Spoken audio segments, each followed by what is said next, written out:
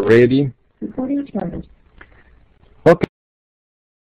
Okay, so good morning to to the participants from uh, North and South America. Good afternoon to the participants from Europe and Africa, and good evening to the participants from uh, from Asia. Welcome to the second webinar uh, of the series uh, on emerging practices in uh, development evaluation that is organized uh, by UNICEF, the Rockefeller Foundation, and Claremont Universities in partnership with IOC and the DevInfo. We already had the first seminar on developing countries perspective on emerging practices uh, the 13th of October and and then as you can see in your uh, in your screen we have a series of webinars. The next one will be the 7th of December on evaluating network and partnership, and then we will have evaluating capacity development, evaluating organizational performance, evaluating innovation, and evaluating sustainable development. For your information, we also have uh, another a second series of webinars, uh, and that's on national evaluation capacity development. Uh, we already had a few few sessions. Uh, we had one on the role of the United Nations in fostering national ownership and capacity in evaluation with Saraswati Menon and Finbar O'Brien, the Director of the Evaluation Office of UNDP and UNICEF. And then we had one on future trend in evaluation with uh, Michael Quinn Patton and myself, one on evaluating policies and their results with uh, Caroline Heider, who is the Director of the Evaluation Office at World Food Program, and Craig Russon from ILO one on human rights and gender evaluation with Belen Sanz-Luque, who is the director of the evaluation office at UNIFEM, and uh, Florence Etta, who is the president of the African Evaluation Association. And the next one will be the 30, 30 of November on the professionalization of evaluation with Linda Morra, who is uh, one of the co-leaders uh, of uh, IPDET, uh, Robert Picciotto, who is the former Director General of evaluation at the World Bank, and Jean Quesnel, who is also the former director of the evaluation office at UNICEF, SIDA, and the Inter-American Development Bank. We will have also other webinars with uh, Michael Bamberger on uh, impact evaluation, Hallie Preskill and Alexey Kuzmin on uh, evaluation capacity development, once again with Michael Quinn Patton on uh, utilization focus evaluation, uh, David Fetterman on empowerment evaluation, and then we will have uh, uh, four case studies uh, from South Africa, Colombia, Sri Lanka, and Uganda, where representatives from these governments will explain uh, challenges and opportunities that they face in uh, setting up their own national monitor, monitoring evaluation system. The recording of the previous webinars are available in uh, in the website that you can see in your screen, that is uh.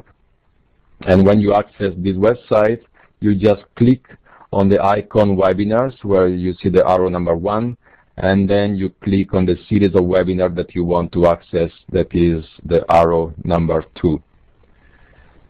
And then you will get the, the list of webinars, so you just click in the webinar that you want to access, and finally, you just click in the recording and you will get access to both the recording as well as the PowerPoint presentation that was used during the, the recording.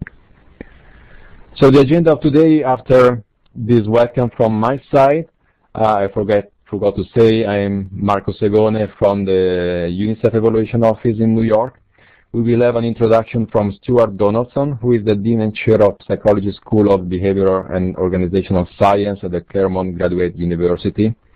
And then we will have Fred Carden, who is the Director of the Evaluation Office at IDRC, uh, who will uh, talk for about 20 minutes, and then we will have a series of question and answer moderated by Stewart.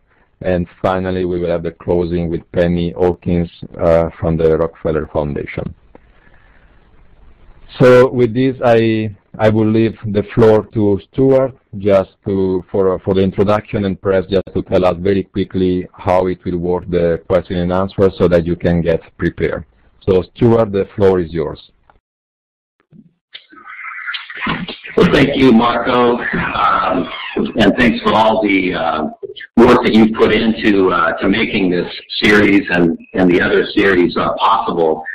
Um, welcome to the 180 uh, plus uh, participants from around the world. Uh, I wish I could be in the room with you. We were all in the same location. But uh, this is certainly the next best thing, and I think we're going to have a great um, meeting uh, today. I'm about 35 miles from uh, Los Angeles at uh, Claremont uh, Colleges, and I just briefly want to uh, share with you my team here. first of all, Professor uh, Tarek Azzam is working with me.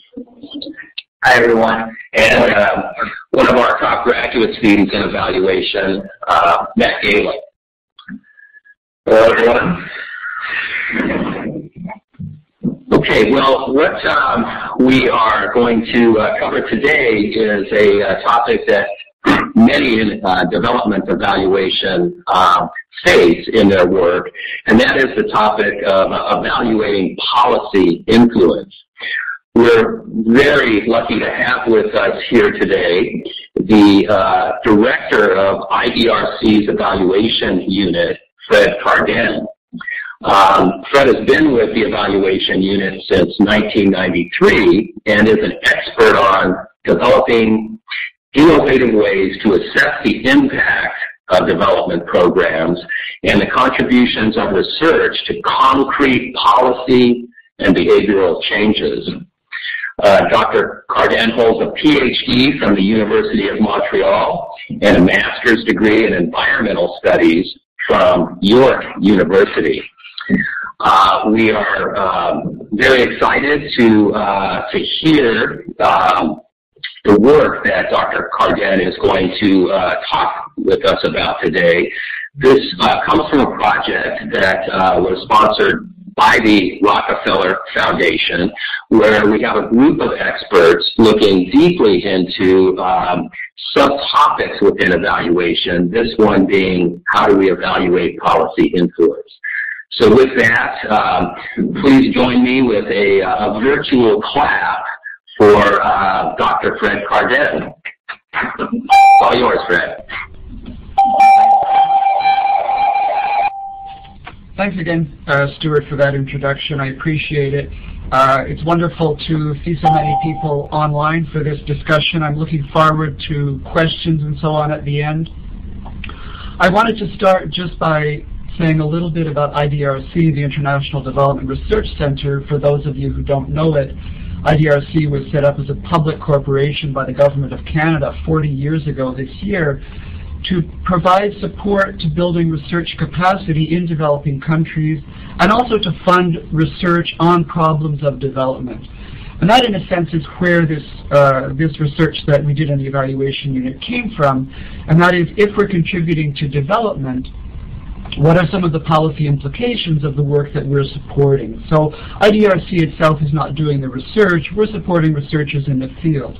So what we wanted to understand was how is the support we're providing helping those people to actually have some influence with the research that they're doing on the policy process. Me just get up to the so the basic findings from this research got published uh, last year in a book called Knowledge to Policy, and you'll find in that a number of the case studies of the work that we carried out. Um, one of the big issues that we were struggling with dealing with was what do we actually mean by influencing research on, on public policy because there is no obvious direct connection in most cases between research and the policy process. So what I'm going to give you here is a bit of a background to what we went through in the study, but I'd really like to focus on the findings from the study itself, uh, and then we can come back with some further examples if you like to illustrate some of the points. But our first big challenge is what do we mean by the influence of research on public policy? And we really started from Carol Weiss's perspective on enlightenment, that really uh, research doesn't always influence directly, but over time research can have quite a significant influence on policy as it percolates through in the minds of decision makers and they integrate some of the ideas into their thinking. So what that means is that, it, that the influence of, of research is not only contributing to actual policy change, but also contributing to expanding policy capacities and broadening policy horizons. That is, opening up the capacities of researchers to express their ideas effectively, opening up the capacities of decision makers to use ideas and to broaden their thinking on the policy process. We did the study with a, using a comparative case method, uh, 23 studies from around the world, from Africa, Asia, Latin America, Eastern Europe. And we really focused on a positive sample because our, our question was not so much does IDRC have an influence on public policy, yes or no, but rather when we do, how does that work? Where, where does the influence happen? How does it happen? What are the contexts that are important for research to have a role to play? And finally, we made a lot of use of, of the users in this process. So the researchers and the program staff at IDRC were actively engaged in the design of the study, in the selection of the cases, and in some of the preliminary analysis that we carried out. But we're not naive enough to think that there is a direct uh, link between evidence and the policymaking process that policy, uh, power and politics play critical roles in the decision process, and research is often held at bay for the future. But that's one of the challenges that researchers face, is bringing ideas back over time uh, as the environment opens up a bit more, and I'll talk a bit more about that in a few minutes. So power and politics, critically important. Uh, we have to keep working with those and uh, in dealing with those. An area that Carol Weiss reminded us about that was particularly important and really useful for the study was that the influence on policy can take a very long time. And the example she liked to use was in the British Royal Navy, from the time they discovered what the cause of scurvy was, and it was killing millions of sailors, uh, until they actually implemented a policy to deal with that problem was 150 years. So we are talking long time frames. IDRC has only been around 40 years, so we're not talking about those time frames. But we did make an effort to go back, and a brief illustration of, of uh, research that took place over a long period of time. In the early 1980s, a program officer at IDRC realized that in the uh, fishery in Southeast Asia, it was really being managed largely as a biological resource, but in fact, was the most important resource, economic resource, for the poorest of the poor all, all over Southeast Asia. And without a, uh, a group of fisheries economists to actually contribute, there was very little that was being put into thinking through how can this resource be better managed uh, and better utilized to the benefit of the poor. He started by putting in place programs to train fisheries economists in several countries in Southeast Asia, expanded that over the mid-80s into the late 80s, but also kept those researchers working together, exchanging ideas, meeting periodically, and they then began to want to do policy research on, on the issues of, of uh, management of the fisheries and started to do policy uh, policy work. And by the mid 90s and late 90s, when many of the early graduates had become important figures in fisheries economics, whether in government or in research institutes, they began to have an influence on public policy. IDRC stopped funding in that area some years ago, uh, but those uh, researchers continue to meet around the margins of other meetings that they are participating in.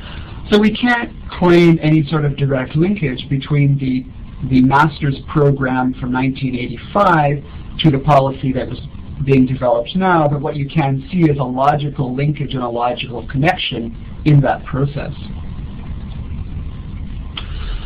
So that's the basics of the study, but overall I want to talk really about what we learned. And we learned things in two main areas, and one is in the area of context. But context matters, and it matters a great deal. And I'm going to talk about two elements of context that were particularly important. The first is the overall context, or what we also talk about as exploiting contingencies. And we really found five aspects in these case studies that was particularly important. One was the capacity of policymakers to apply research. So the Latin American Trade Network, working with a group of countries in Latin America, found themselves spending a great deal of time with the policymakers themselves, understanding how the research process works, what they could learn out of research, and how they could make the transition from research findings to using that research. Stability of, de of decision-making institutions was also critically important. And to stay with the same case, Latin America in the 80s and early 90s was the hotbed of highly unstable governments changing rapidly. And what that meant is that the researchers couldn't really talk effectively to the decision makers because they were changing very quickly. So what they had to do was discover that it was really the third level down in the bureaucracy in most Latin American countries where there was stability and where they could actually work effectively uh, with those people so that when the new decision makers came into the system, they would also go to that third level of the bureaucracy for ideas on how to evolve the system and for understanding of how it was functioning. The three other things we learned about uh, the general context were that influence happened whether it was a highly decentralized government or whether it was a highly centralized government. So we saw influence in Vietnam in, uh, in developing a market economy. We saw influence in the Philippines in providing advice on poverty mapping in some of the provinces such as Palawan. Countries in transition like Vietnam provide particular opportunity because there the government was looking at transition to a market economy but had no market economists in the country. So they began looking to researchers to help them understand what a market economy was and how they were actually going to integrate a market economy into a centralized political system. Uh, in, in another uh, example of transition in information and communication technologies for development, the rapid pace of change in information technologies uh, played havoc with the regulatory regimes in many countries, and in many they didn't know what to do or how to how to change their, their policy to take advantage of the uh, of the rapid technological changes, and they turned in many cases to researchers, and I'll come back briefly to that in a minute. Final point that we found in a number of cases was that where there was a direct impact on the economy, where there was some, some, economic change or crisis, research directly related to those changes was particularly important. So that was one type of context. The second aspect of context that we teased out was the decision context. And again, we found uh, five types of context across these case studies, going from the first where there was very clear policy to policymaker demand, so in cases such as the information and communication technologies situations, policymakers needed help figuring out what to do about the regulatory regimes. Uh, the challenge here was that the researchers had to not only have done the research in advance, they needed to have good, strong relationships with the decision makers in order to have the trust in place for their ideas to be sought and their data to be used. The second, slightly less open context we found is where the policymakers were clearly interested in this problem, but there was a leadership gap. So they didn't necessarily know how to deal with this with this information and how to put it into their system. They didn't know where it could be institutionalized or how. So they needed help thinking through the institutional and organizational mechanisms that would be important.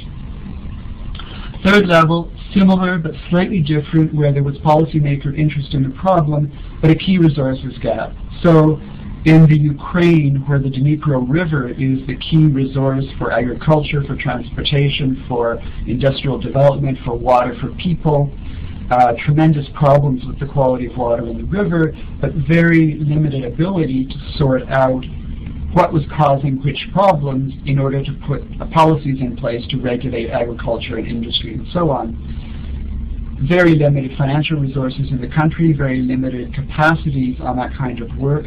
They needed help not only in dealing with the problem, but dealing with it in a, a low-tech, relatively inexpensive manner that they could sustain over time. And they also needed help pushing this up the policy agenda so at least some minimal resources could be attached to the problem.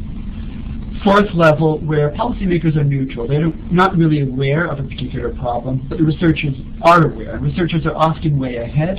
They're thinking ahead, and as I alluded to in, in uh, a couple of minutes ago, researchers have to be prepared and have to do the research in advance if they're going to provide policy advice on a rapid basis. So it is the most challenging space for researchers to work in if they want to influence policy. But as we'll see, where there is intent to influence policy, things happen. Not, they don't always go up to get clear policymaker demand.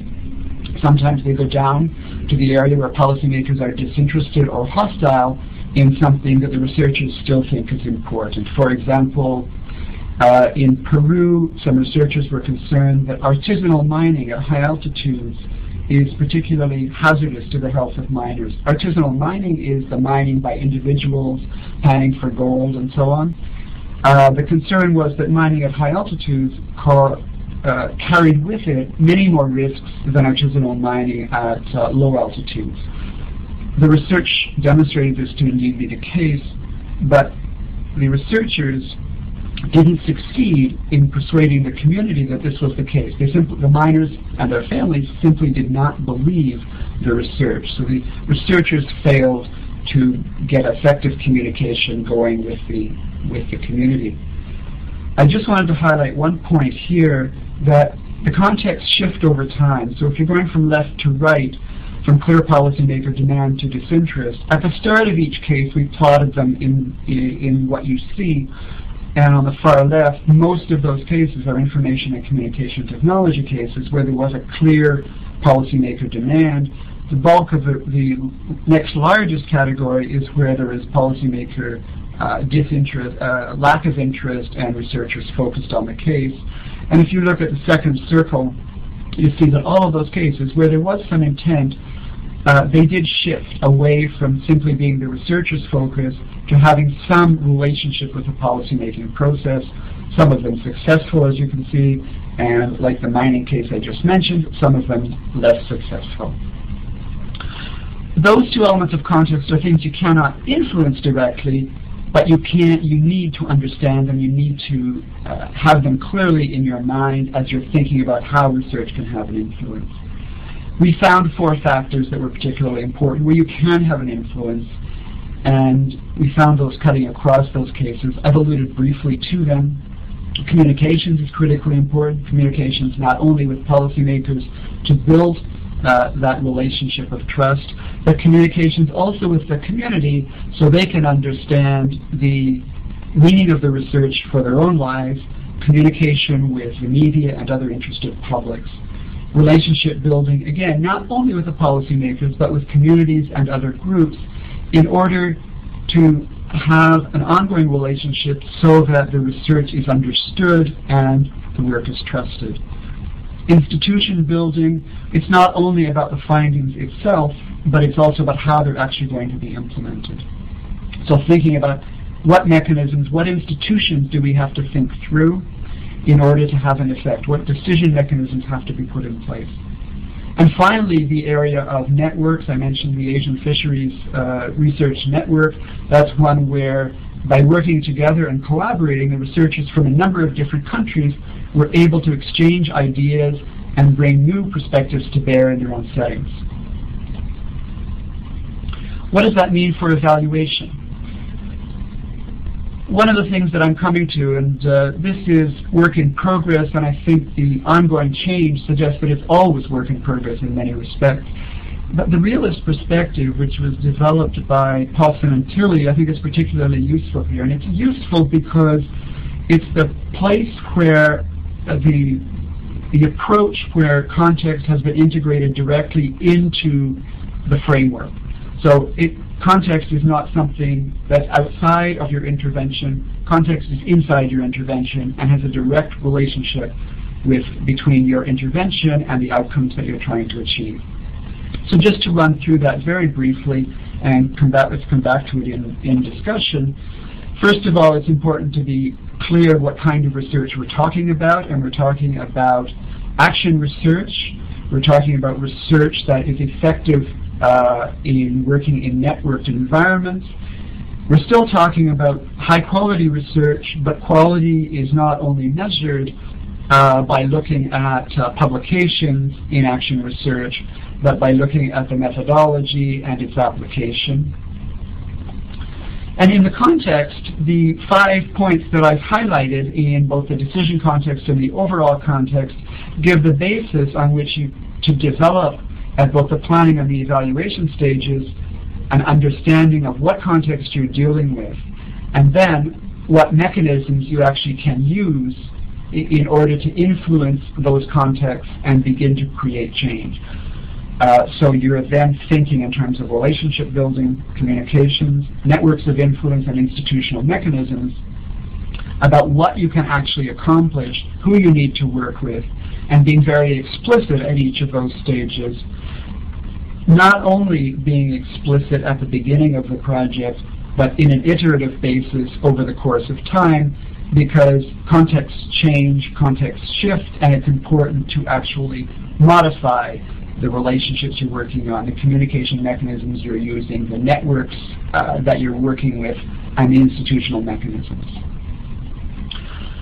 Outcomes then need to be thought about, obviously in terms of better decisions or in terms of social betterment, because the ultimate objective is to change conditions, to improve the health of those miners was really the objective of looking at high altitude mining. But there are also intermediate outcomes in terms of expanding policy capacities, broadening policy horizons, and changing policy regimes. Those three points I came to at the very beginning, uh, that many of these things happen over extended periods of time, so it's important to think about uh, incremental changes and constant engagement and in many cases coming back to the research over time as the policy environment opens up uh, and sometimes closes down, but it changes over time and researchers then need to be working with colleagues to sort out when can we actually uh, take advantage of that environment to bring these ideas to bear on improving conditions. So I'd like to stop there.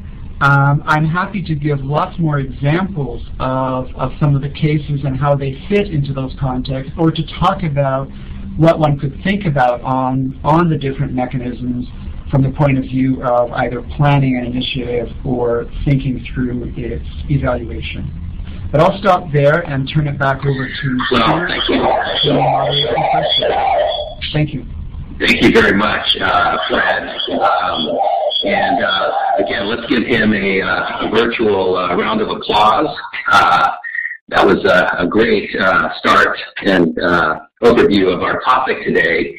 What I'd like to now ask those of you um, participating in the webinar to uh, begin um, uh, to write your uh, questions down in the uh, chat room, and we're going to uh, take uh, two or three at a time and, and ask those uh, questions to Fred. I'm going to start with a question and then invite Marco and Penny to also, if they would like, ask a question, and then we will um, move to the to the chat room. So my question, uh, Fred, is that um, because I imagine our um, audience here that we may have people uh, that are uh, working mostly from a research standpoint, possibly a policy research standpoint, all the way down to uh, people in um, you know development context working on project evaluation and probably you know a whole range of uh, types of evaluation. When you think about policy influence and evaluating that, do you make a distinction between research and, and evaluation? Um, maybe you could comment on that.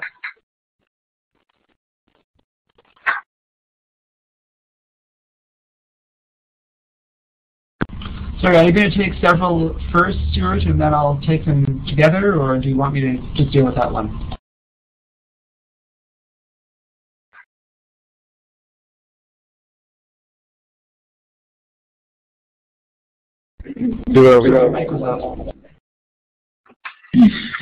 While we're uh, gathering the other questions, maybe you could start with that one.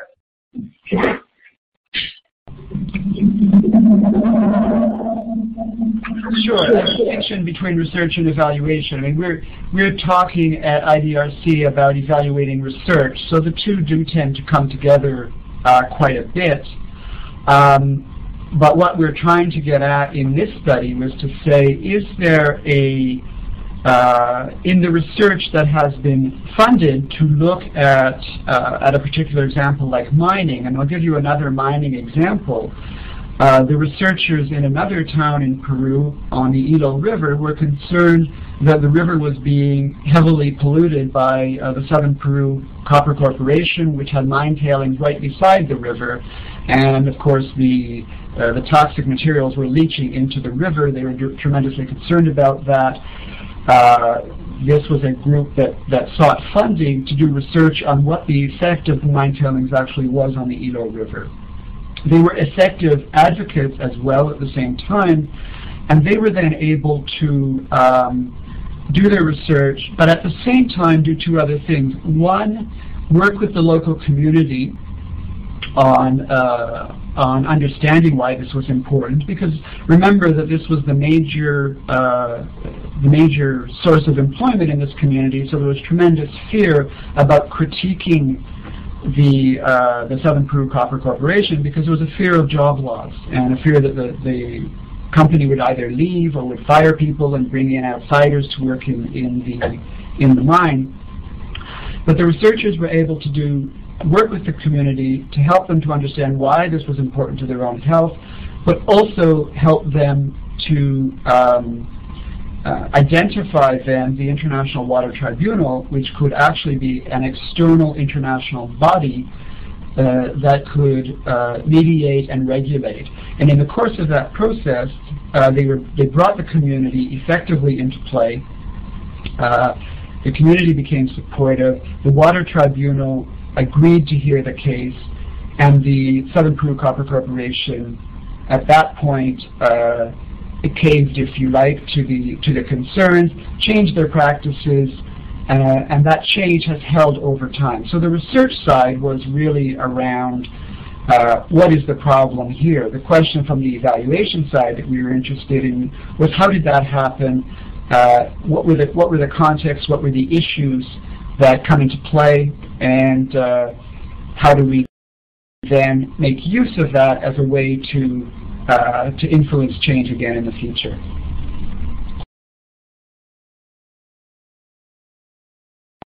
Great, thank you uh, very much. Um, Marco or Penny, do you have a question? Or would you like me to go to the uh, participants now? As we have a lot of uh, questions from the participants, I would prefer to give space to the participants. So if you can... Uh, Great. Um, let me uh, move to our first questions then from the, uh, the participants. Um, and uh, that question is, uh, Fred, and I'm going to uh, start with three questions for you. Um, I am looking, this is from B. Stevenson online, I am looking for ways to prioritize policy alternatives in the hundreds. How would you see using this perspective to do that? Any tools you are aware of that might be helpful? Okay, the second question is from uh, Marcus at UNICEF Botswana. Do we have an example where an evaluation of an agency's policy advocacy has led to greater capacity to influence? And our Third question is from Tom Grayson. And Tom would like to know what can be done to increase the capacity of policymakers to apply research.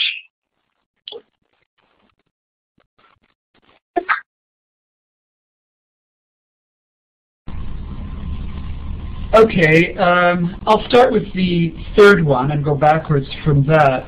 The, I think that the what a number of our projects found where they were successful was that where they increased the capacity of policymakers to use research was where the researchers had almost a, a an entrepreneurial perspective on their work. So for example, a researcher in Senegal who did work on, on poverty and on economic policy in the country, ran a, a number of initiatives simultaneously. First of all, he often would just go and meet. It's a relatively small country. Uh, he would often just go and meet with decision makers, both in government and in the opposition, to talk about policy, economic policy, and issues of poverty in the country. He would take his research and he would popularize it and put it into small booklets and sell it in the bookstores in town. He would uh, he set up a, a forum for policymakers from government and from the opposition to meet in camera behind closed doors to discuss some of the research that he had led and to discuss their concerns and their issues in policymaking in the country with a very clear understanding that what went on there stayed there. So there was actually a, an opportunity to build capacity by talking about ideas in a forum that wasn't threatening to the policymakers. So that when there were things that came up that they had to deal with, uh, they were then able to um, go to him and say, help us sort this out. Help us how to figure out an effective response on the, the PRSP, the poverty uh, strategy paper that we have to prepare uh, in order to apply for funding. So there's that kind of, of relationship that gets built up over time. The Latin American Trade Network I mentioned found the same thing. They had to just spend a lot of time talking about ideas with policymakers. So it, it does mean that it's uh, there is a bridge between the research and the policy that sometimes in, in those rare cases, as in Senegal, uh, the bridge is, is, is built by the researcher, but sometimes it's built by a team that the researcher is part of. So there are other people involved who are more effective in communicating with, with the policymakers. Um, prioritizing policy alternatives. How would you use this perspective to do that? I, this wasn't really so much about prioritizing policy alternatives because this was really looking at research activities that was specifically focused on a problem that the that the researchers were concerned about, whether it was the mining problem, whether it was equity in education in Guatemala or other issues. So it wasn't so much uh, focus on prioritization of policy alternatives um, so I haven't, to be honest, really thought about that. So I don't have any any immediate thoughts on using tools like this for prioritization. Sorry about that. Um, sorry, what was the third one that you gave me, Stewart?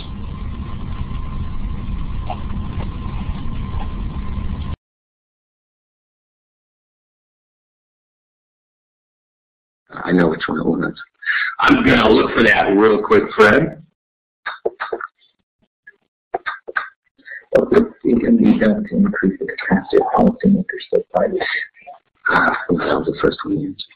Okay, um, B. Stevenson, um, I am looking for ways to prioritize poly policy alternatives in the hundreds. Did you address that one?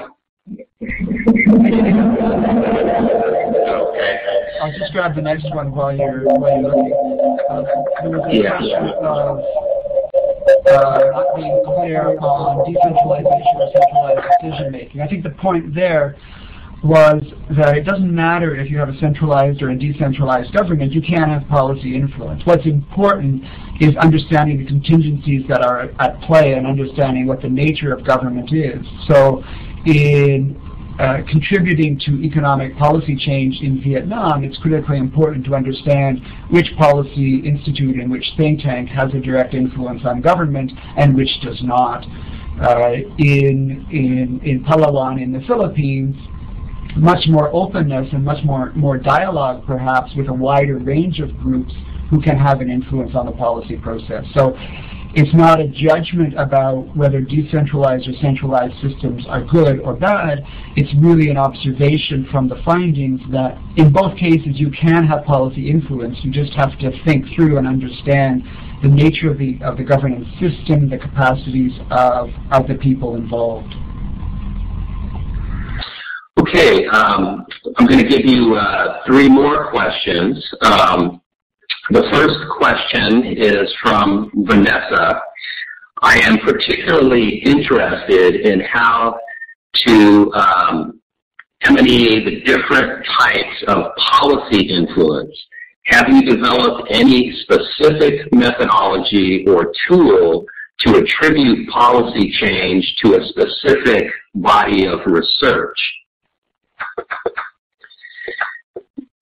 The um, second question is from uh, Michael Bamberger. Fred, do you use attribution analysis to determine to what extent the policy changes can be attributed to the effects of the research or evaluation? And the third question is from Louis Zegers. How do you ensure that policymakers stay in the loop after implementation of policy and can go on making policy decisions after evaluation?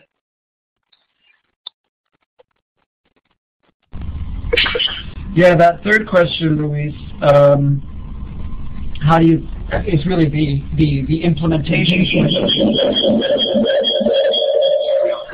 The implementation question, and we, we thought naively when we started this study that after a year or so of looking at policy change, we would look at policy implementation. And the reality is that, that we've taken much longer on figuring out the change process and haven't actually looked at the um, uh, the implementation process. And I think that two things come to mind here. One, the point that I made at the beginning about power and politics. Um, other things going on have an influence and an impact, and you can't always uh, have that kind of success. The second uh, point I would make here is that in examples like the, the Ukraine example of the Dnipro River, what the researchers were thinking about was not only figuring out what's caused, what agricultural activity is causing damage to the river and, and, what can be done about it, what industrial activity, and so on. They were trying to figure out how can we come up with technologies um, with the uh, with low cost and low skill level needed, so that the government can over time sustain uh, the program uh, to monitor the quality of the river and to change policies and to change the regulatory regime and environment in order to be able to deal effectively with problems. So um, policymakers are dealing with a whole range of things at the same time. They have pressures from many different directions and the, the constant coming back and the ability of researchers to be persistent over time has been important in a number of the cases as well. Michael, uh, in terms of attribution, I I, uh, I really focused on contribution rather than attribution because in a lot of the cases, research in particular is so far upstream from the change process itself that you can see relationships and linkages such as the fisheries economists trained in the mid-1980s being part of the policy process in the late 1990s. Um, you can see those linkages, but you really can't talk about attribution in a direct way. We tried in a, in a different study looking at uh, trade policy around the world to trace back from policy change to the research. It was extremely difficult. We came up with a few tentative hypotheses, but it's really extremely difficult to disentangle all of the all of the elements that are part of the change because the context does matter if you understand it, then you can perhaps begin to see the, the threads more and more clearly. But I'm really a strong uh, advocate of thinking more about contribution than attribution. But in order to do that, you have to be very clear about what it is you're trying to accomplish so that you can uh, make those logical connections and learn from them for the future.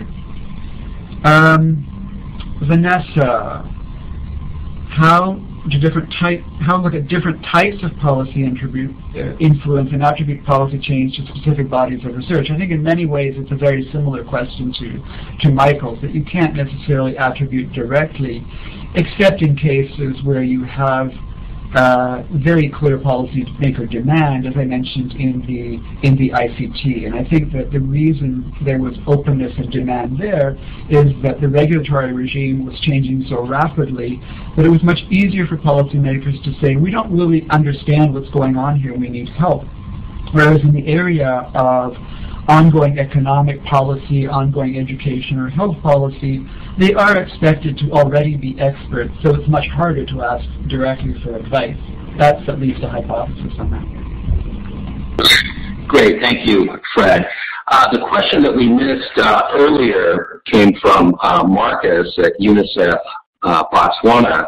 And uh, Marcus would like to know, do we have an example where an evaluation of an agency's policy advocacy work has led to greater capacity to influence policy? Uh, if you can answer that one, then it will give you a couple of more and, and probably wrap it up at that point. That's a hard one to answer here, Marcus, uh, because we weren't looking at whether or not the evaluation had policy influence. We were looking at whether or not the research had any policy influence. A little difference.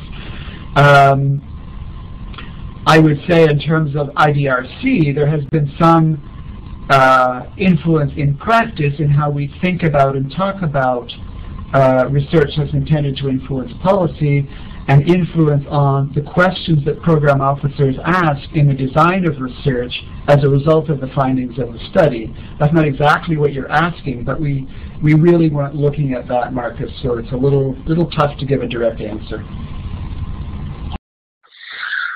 Okay, well, first let me apologize to all of the participants that we um, you know, have not selected your questions. We're trying to do our best to get a representative uh, sample here, and I'm going to ask you two more, Fred. Um, uh, question from Debbie uh, Mullen.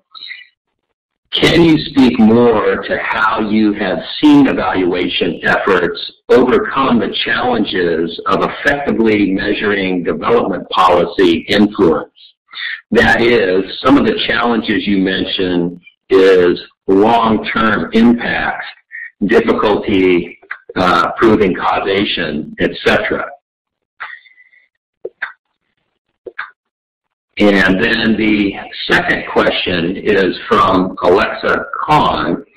I am still concerned about the gap between researchers and policymakers. What is your view on ODI's suggestion that researchers need to become policy entrepreneurs in order to more effectively influence policy? Thanks. Great questions as always. Um, how does evaluation overcome the challenge of having effective policy influence? I think that what we saw in a number of cases where there was uh, and I'm going to speak to research here because really what we were understanding was how research had an effective policy influence, but I think you can probably make a translation into how evaluation has an influence. Where there was active engagement of the key users, there was much more effective policy influence. So even, for example, in India, in a project trying to look at getting more use of traditional knowledge in medicine, uh, the way that they agent, the researchers put pressure on government was not so much direct, they did some of that, but they also used the community. And they got the community to ask a lot more questions about why some of the traditional knowledge was not actually being used. So engagement is critically important. Uh, that's where the, the influence is most effective because you're bringing different groups of people, different bodies of knowledge to bear on the problem. Uh, Alexa yeah, there is still a gap between research and policymakers, and I don't think all researchers are going to become uh, policy entrepreneurs or research entrepreneurs. Uh, they're not necessarily of that ilk. But the reality, I think, of research that's trying to have a direct influence on policy is that it has to think about how it's going to achieve that. The policy entrepreneur model or the researcher entrepreneur model that uh, that I exemplified with the researcher from Senegal is one model. But a lot of, of work now doesn't actually happen by individuals, it happens in teams and it happens in groups. And so the researchers need to think not only about their research, but who they have to work with in order to have an influence. So I think the gap is going to get filled much more by the capacity of researchers to work with others and to build networks then it will get filled by a lot of researchers taking on that very specialized and unique role of being a, a, an entrepreneur. Well, thank you, uh, Fred, and uh, thank you to all of the participants who have uh, asked some really um, enlightening uh, questions. Um, what uh, we're, we're, now at the stage where we have one of the newest members of our team, Penny Hawkins from the uh, Rockefeller Foundation, and we've asked Penny to say a few closing remarks and, and, wrap up the session today. welcome, Penny. Thank you, Stewart, and hello, everybody. Um, I'd first of all like to thank Stewart, Fred, and Marco for uh, their contribution to the webinar. And Marco tells me that, that today we've actually reached a record of 201 participants at one point. So thanks to all of you out there for um, tuning into the webinar. Uh, I'd like to say really how delighted the Rockefeller Foundation is to be sponsoring this webinar series and working with our partners in the initiative. We really do think it's important for donors and foundations to be investing in the development of evaluation practice for the benefit of, of everyone.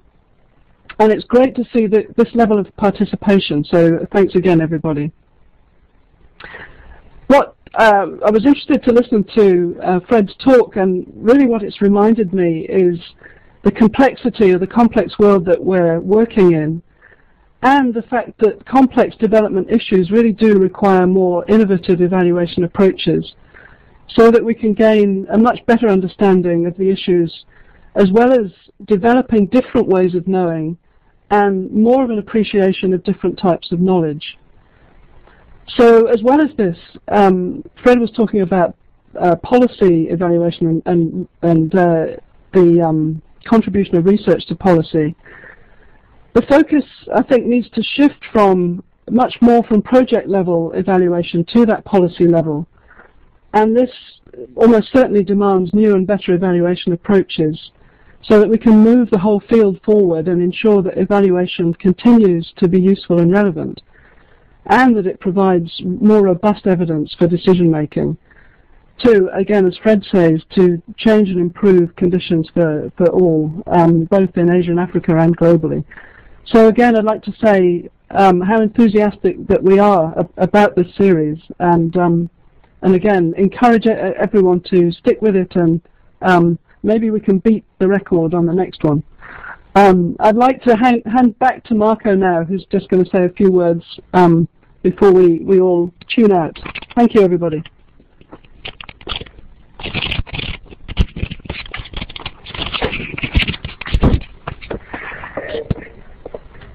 Yeah, so back at the beginning, so stay with, uh, with me. Uh, so I'm from Marco Segone from UNICEF. Just to reiterate once again uh, how glad we are about this series of webinars because we really think that uh, uh, you know, we see it as a strategy to, to strengthen the understanding uh, and the capacities of evaluations really in support of country-led monitoring and evaluation systems. So I just would like to, to remind you once again, uh, write down in your, uh, in your agenda, uh, the 30th of November, we will have uh, the next webinar. It's about the professionalization of, of evaluation there is a lot of debate among the evaluation community worldwide if we if the evaluation community should come up with a you know there are talks about certification accreditation and anyway the challenge is how to make the profession uh, a quality one uh, so we will have uh, Linda Morra who is advisor for evaluation capacity development at the World Bank and, is, and she is co-director at the International Program for Development Evaluation Training. And actually, she has led a discussion on these items also within IDEAS, that uh, is the International Development Evaluation Association. Then we will have Robert Picciotto, who is visiting professor at the King's College in London and former Director General of Evaluation at the World Bank. He will also uh, present his own perspectives and we will, we will also have Jean Quesnel, who is Senior Facilitator at the UN Staff College, and is also professor at the ENAP in Quebec and Carleton University and former director of evaluation at UNICEF the Inter-American Development Bank and the Canadian CIDA. So I think that the next webinar will be also a very interesting one. Uh, and immediately after there will be, so this one is part of the series of the webinars led by UNICEF in partnership with uh, other UN agencies, including UNDP, UNIFEM, uh, World Food Program, uh, and, and, ILO. And the next webinar in this series, uh, done in partnership with uh, the Rockefeller Foundation and Claremont University, will be the 7th of December with Jared Raynor from the TCC group, and it's, it will be about evaluating networks and partnership. Just to remind you, the recording and the PowerPoint presentation of this webinar of today, plus all the previous one, will, will be available in, uh, in a couple of days in this website that you see, and then you have to click on the icon webinars. So with this, I really would like to thank a lot uh, Fred Carden from uh, IDRC for uh, uh, an extremely interesting uh, uh, presentation and discussion. And Stewart uh, from the Claremont universities. I know that you had to wake up at about 5.30 or 6 a.m.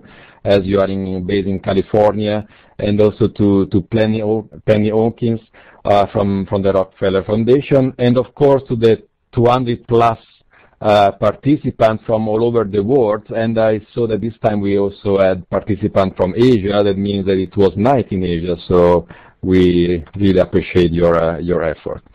So thank you very much, and we really look forward to seeing you in the next webinars. Thanks a lot. Thanks very much. Yeah.